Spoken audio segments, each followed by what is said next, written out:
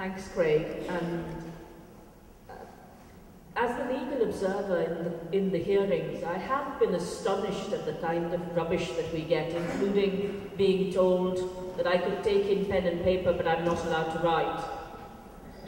I mean, it is, it is just astonishing.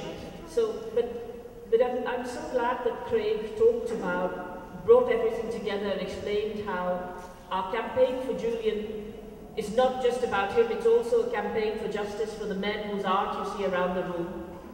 And our next speaker, um, Ian Overton, who, who, who's CTC there, unfortunately due to being ill, uh, really wanted to be here, but he's, he's not been able to travel. He will come to our next event.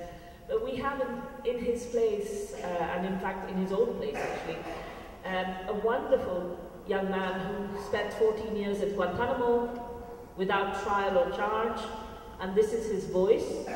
I hope you can hear him. He, is, he doesn't yet have his passport in his hand, although he's finally been granted one. An innocent man finally been granted a passport. Uh, but hopefully he will have it soon and he will hopefully be with us for the exhibition in the summer to tell you a little bit more about his art and the art from his colleagues. I also wanted to highlight our friends from CAGE who are here today um, we are grateful for their solidarity. This is 21 years since Guantanamo was opened. 35 men are still there. Um, some, many of them cleared for release. And it is astonishing that many people don't even know that Guantanamo is still open. So here is Mansoor Adayfi's voice. I'm going to test the sound uh, with our live stream audience. So first I, will check uh, if that works and then you can hear it.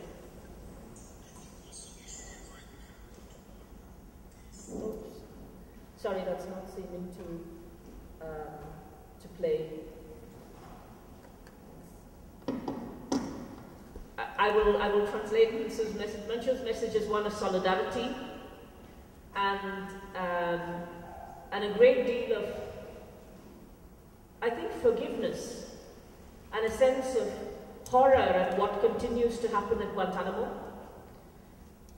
He, he and his fellow colleagues, many of whom are struggling financially, uh, would be grateful for your solidarity over time.